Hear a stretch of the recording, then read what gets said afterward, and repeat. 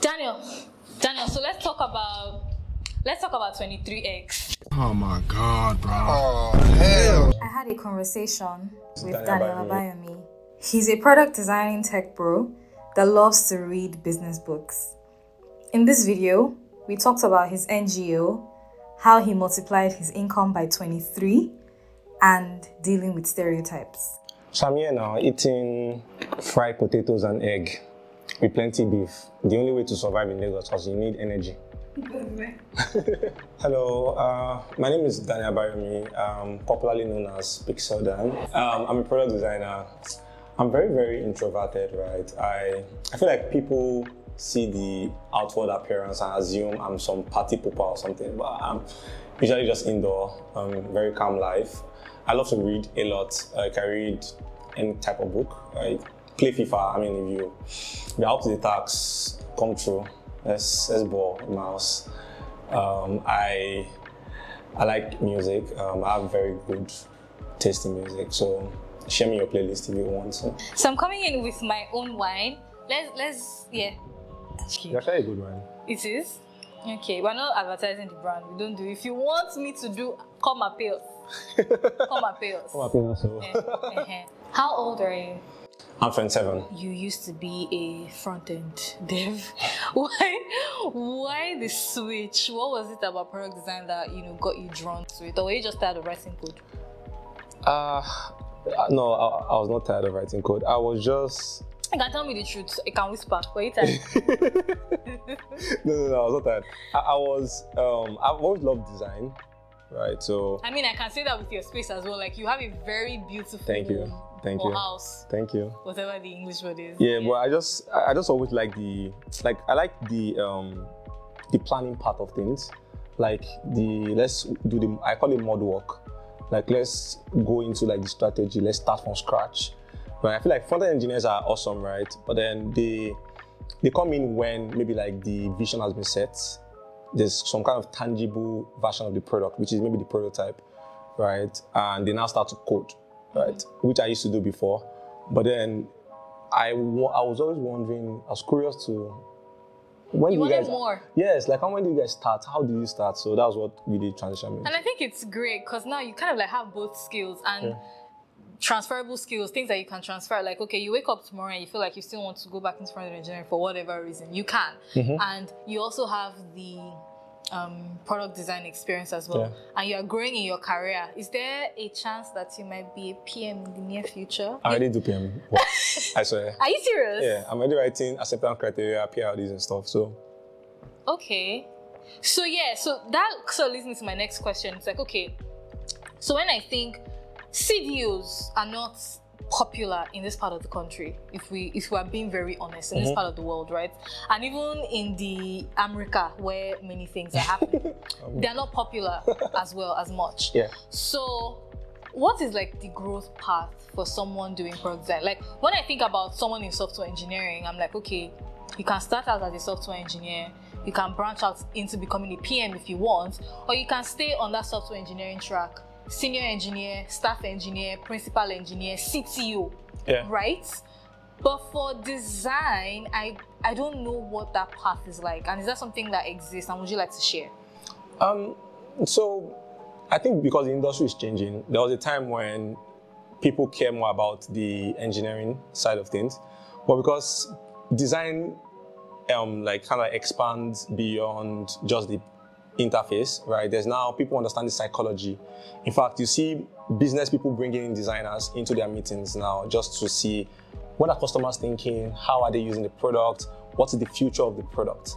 And designers are gaining more ground and more like recognition for their work. So I feel like there is like more growth trajectory for designers, right? Even you look at companies now, some founders, they're designers, right?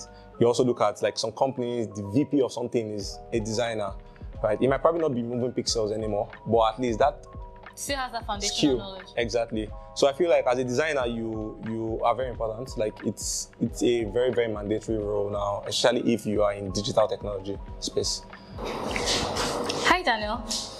So So I want to ask you about rejection. um, I read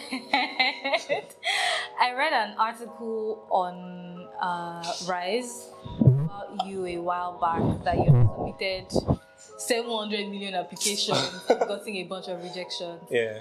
What made you keep submitting those applications? Because if it's me, I would have gone back to my village. What made me keep? Uh, I don't know. I feel like I just I was just hopeful. Like one would click one day, but it didn't click. Honestly, like it, it didn't click at all. So what happened was I had to talk to other people to get. So I spoke to someone, and the person was like, "Ah, "You should should redo your portfolio, do this, do that," and I did that, and it, it started working out.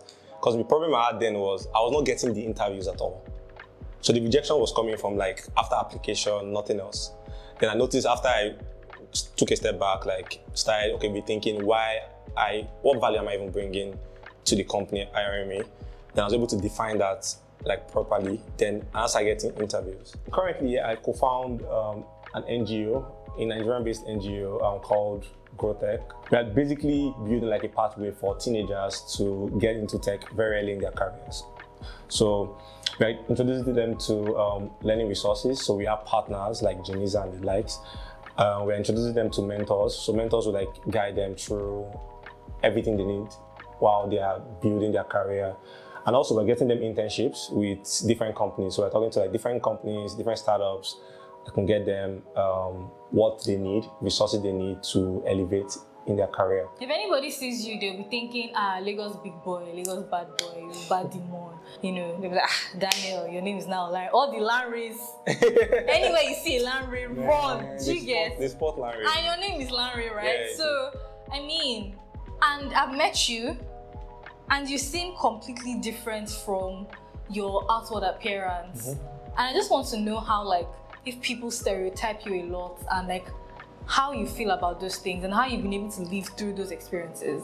So it's always surprising because like you don't even know me and you already have like this impression of me, which is fine. I mean, you always have your own opinion, but like I feel like if you take like maybe like 30 more minutes to get to know the kind of person I am, you warm up to me, which is also a problem. Because like everyone wants to get to know me. I mean, I'm not trying to. Sorry, now. Um, eh, eh, you're bad demon vibes. Wants to get to me. Yeah, but I but- mean, let's let's start with the hair. Like, you know, the hair. The it's not like the long dreads, but it's dreads, right? Yeah.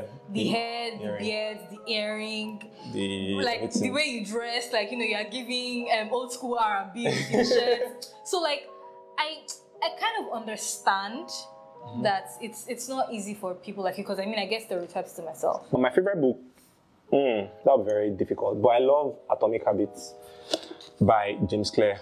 This book, always read it. You should read it. Yeah, I'm, I'm reading for a second time now um, because I feel like the first time I was just, it was like a wave. I, I didn't quite get the kind of value I wanted. Um, then I also like this book. Um, so if you're a designer, mid-level, junior, you should read this book called Reimagining Design. It's a really good book. I read it two months ago.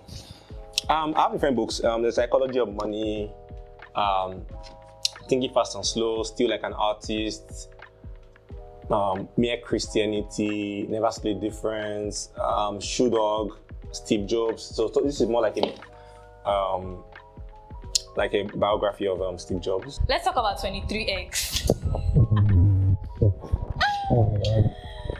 No, you cannot. Sorry. yeah, you posted. Nobody asked you. Yeah, in review. Um, I did this. I did this. I 23x my income. We need to know how you did it. See, I don't know about people, but me sounds 23. I, I really need to, cause egg is 100 naira. Unfortunately, when we were editing, we realized that the audio was bad. But some of the things Daniel talked about when we were having this 23x conversation was that he had to learn about his value. The first thing that he did was confidence in himself and the value he brings to an organization. And he had to reach out to people to mentor him, build a network, and just, you know, make friends in the industry. And even after he had done all of that, he realized that he couldn't negotiate. And he read a book about negotiation, and that really helped him a lot. And that was how he was able to negotiate his salary. He's going to tell us what that book is. Yeah, it's a really, really good book. Um, it will help you with like negotiating. So it says, negotiating as if your life depended on it. Honestly, just negotiate your way to greatness, to 23x. you.